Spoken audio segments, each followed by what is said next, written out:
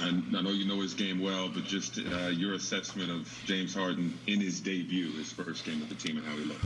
Man, it was uh, incredible. You could see him uh, trying to figure out the best way to play early on. I felt like we all were overpassing, trying to make everybody comfortable, and then he just got into his mode of, you know, being aggressive to score, and that opened up the whole game for all of us. So, you know, glad he got his feet up under him. He's got to keep plugging away, keep getting better each day. Was there an increase? I know he's new, and of course you're going to do a lot of talking there, but kind of increased communication across the board with the team so that you guys are locked in at the task at hand. Yeah, I mean, you got James, myself, Jeff, DJ out there, Joe, guys who've been in the league for a while. I think all of us, um, you know, on the same page and communicating what we need from each other on the defensive side of the ball, especially on offense. I think we were moving and flowing a little bit uh, on offense, you know, based off our communication. You know, we didn't have a play coming across half and guys were talking guys through actions and um, same on the defensive side of the ball. So we're only going to get better at that and, um, you know, it's going to take some time for us to build up that consistency of, you know, how we want to play on both ends, but, you know, it was a good step. Greg Logan with Newsday. Uh, KD, uh, during his introductory press conference, James was asked what part of his game he needed to improve or emphasize or whatever. He said playmaking.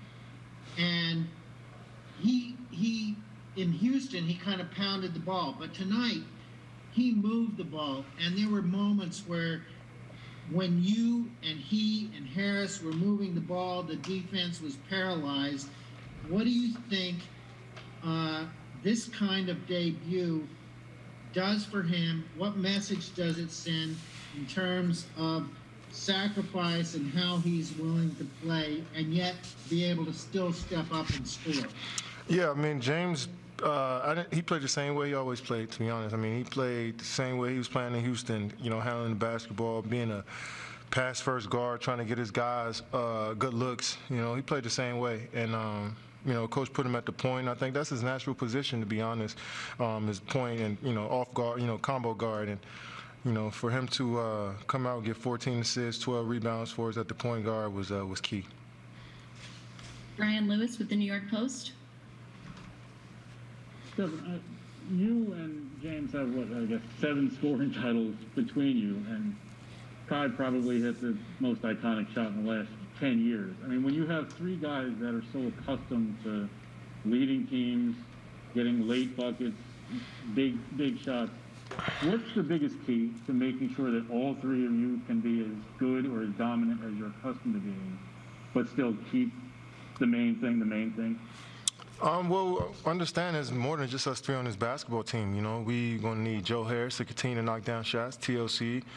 Gonna need DeAndre to roll to the rim hard, and our bigs to come in and, and help set screens and rebound. And so I think it's a group effort, and that's gonna you know open up the floor for for all of us. And you know, it's having high IQ guys who are unselfish, who you know uh, want to make the extra passes you know, we'll see how it plays out. You know, each game is different. I think we want to approach each game with that attitude of just all of us being who we are and being aggressive, but, you know, being on one string. And, you know, we'll see how it goes. Alex Schiffer with The Athletic.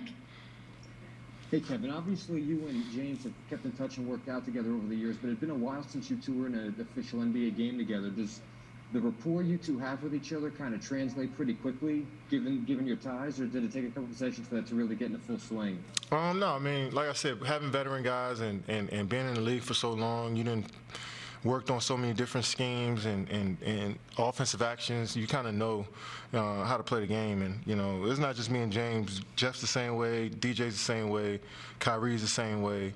You know, guys that have been in the league for almost 10 plus years where, you know, we could just sometimes we don't even have to speak to, to know what we're thinking. And, and, you know, guys are, you know, just understand each other. And we've been studying each other for so long, scouting each other for so long. So that IQ is just there. You know, it's only going to get better.